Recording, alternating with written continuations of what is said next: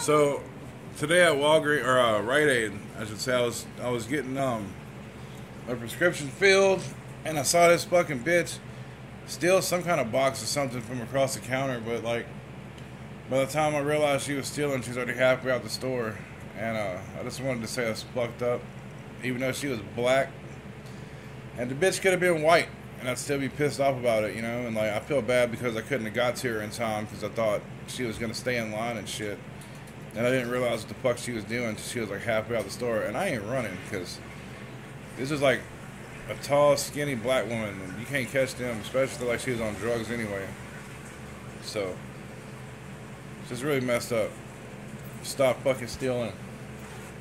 There's too much shit going on right now with all this fucking black white stuff too, and it kind of it kind of psychologically put me at a disadvantage because I figured that you know if I did something, then that'd be part of a racial thing, but apparently wouldn't have. So the next time somebody tries to steal, I'm just gonna fucking throw them on the floor, and uh, that's gonna be that. Um, I really haven't said much about this Black Lives Matter shit because uh, I think it's a sham. It's just a reason to be racist. I also know that uh, you know the statistics say what they say, and uh, I don't really have to tell nobody nothing because we all know.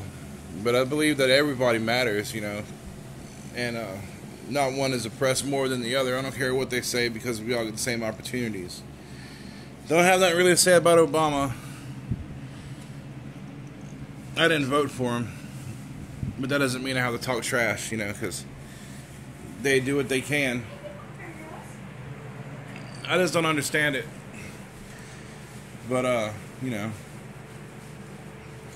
I just you know, I pretty much save all my opinions for uh, the music and stuff. You know, just because like people always, you know, they are already wondering about who people gonna vote for, Hillary or Trump. Who cares? You know, I said, do make the right decision, and the right things will happen. Because I'm not telling you who I'm voting for.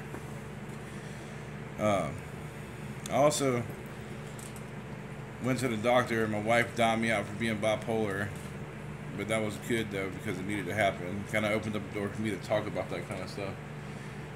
And uh, so yeah i gotta make some different changes in my life that's gonna stop me from doing some stuff that i really enjoy doing you know so time to put the alcohol down and do something different. And hopefully i won't slip up but if i do i'm human you know but i'm not gonna like I can't be getting drunk no more. I can't be doing stuff no more.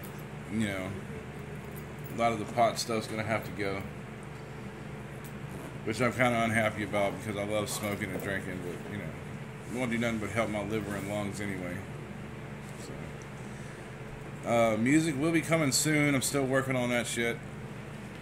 Uh, well, um, I'm still working on it it's just hard whenever you don't have a whole lot of money or means to do crap with. So it's just gonna be there. Chief Davis and me are gonna try to do something in this valley and part of the West Coast that hasn't been done in a long time. It's gonna get there. Uh, my buddy Joe asked me to do a top ten death metal album video, and um, I was gonna wait and just buy the albums, you know, but that's gonna take too long. So what I'm gonna do is I'm gonna make me a little list, and hopefully in the next few days or so, I'm gonna put put it up here for you guys to see. And uh, you know, back to me being the bipolar thing. I've had this since I was, you know, a long time ago. It's never like uh, I never said nothing about it. You know, I always tried to hide it, and I always tried to act like I'm spying and stuff. You know, but it's hard. I didn't realize how hard it was. Until I started getting older. You know you know, maybe you know it'll st- it might come out something good, you know, because maybe that's why I've lost too many people in my life that I cared about, and I just seem to get mad for no reason half the time. I get irritable and shit. This is a process, you know. The past can't. The past is the past. I don't care what anybody's done. You can't never get anywhere staring behind you. You can only look forward, you know.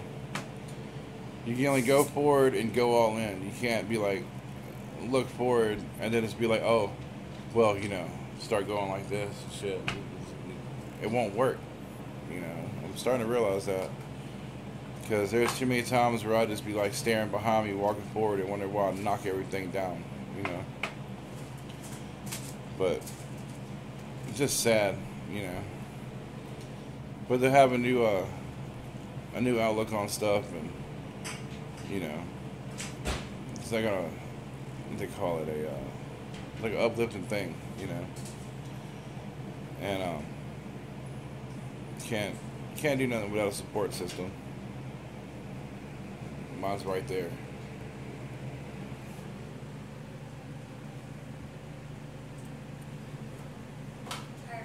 so right now. Don't like me on camera.